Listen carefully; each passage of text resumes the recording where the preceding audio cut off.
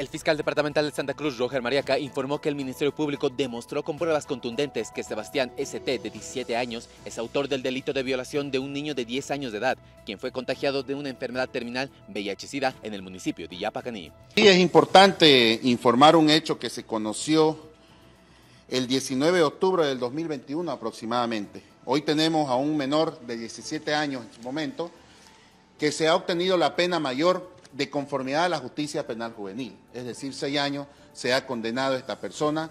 Hemos estado como Ministerio Público con otras instituciones que coadyuvan la Defensoría, el Ministerio de Justicia, vigilantes de esta sentencia. Así también la familia ha podido estar y ha podido ver de que se ha podido trabajar en coordinación razón por la cual el día de ayer se ha obtenido ya la sentencia en primera instancia en contra de esta persona. Y así también vamos a actuar con las personas mayores imputables y acusadas que se encuentran dentro de esta investigación, donde vamos a pedir la pena máxima de 30 años sin derecho a indulto para todos los acusados dentro de este proceso en el cual fue víctima un pequeño menor de edad y hoy ya no se encuentra con nosotros. El caso se conoció el 19 de octubre del año 2021, cuando el niño tenía apenas 10 años. Luego de varios días de internación en el hospital japonés fue diagnosticado con VIH-Sida. Meses después, el menor rompió el silencio y confesó a su hermano mayor que fue agredido sexualmente desde sus 8 años por un grupo de cuatro hermanos, que eran sus vecinos. Los sujetos aprovechaban que la víctima iba a jugar a la casa de ellos para darle bebidas alcohólicas y lo amenazaban con un arma de fuego y cometían posteriormente la violación. El hecho generó tanta controversia en la población de Yapacaní